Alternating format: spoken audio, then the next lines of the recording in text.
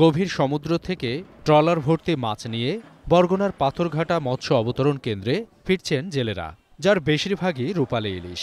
Trawler ঘাটে ভিড়লেই ব্যস্ততা বাড়ে শ্রমিকদের। হাঁক ডাকে মুখর হয় মৎস্য কেন্দ্র পাইকারদের হাত ধরে ইলিশ সহ বিভিন্ন ধরনের সামুদ্রিক মাছ চলে যায় দেশের নানা প্রান্তে।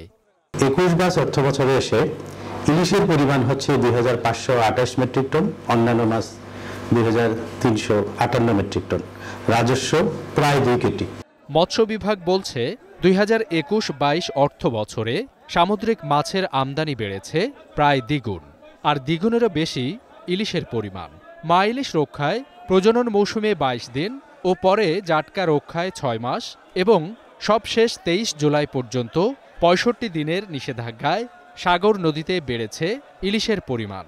সরকারি যে নির্দেশনা আছে এবং গবেষকরা যে গবেষণা করে আমাদেরকে যে ধরনের গাইডলাইন দেয়, সেই গাইডলাইনগুলো যাতে যথাযথভাবে পালন করা হয়।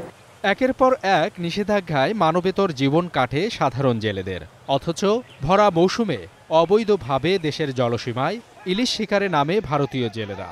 এতে দেশের মৎস্য সম্পদের পাশাপাশি মৎস্যজীবীরাও ক্ষতিগ্রস্ত বলে দাবি জেলে নেতাদের। মৎস্য বিভাগ বলছে, ভারতীয় জেলেদের প্রতিরোধে বাড়ানো হয়েছে তৎপরতা। ভারত এবং বাংলাদেশ একসাথে অবরোধ দেওয়ার জন্য এইটা দীর্ঘদিনের আমাদের দাবি ছিল কিন্তু আমরা এই দাবিটা এখন কোনো কোনো বাস্তবায়ন হয় নাই। সরকার সচেতন আছে আমাদের আইন শৃঙ্খলা রক্ষাকারী বাহিনী সচেতন আছে এবং এটা আরও কঠোরভাবে ভবিষ্যতে হবে।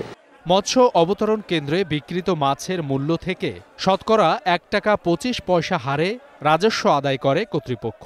সে হিসেবে দুই হাজার একুশ বাইশ অর্থ বছরে রাজস্ব আদায় হয়েছে এক কোটি পঁচানব্বই লাখ চুয়ান্ন হাজার পাঁচশো উনষাট টাকা।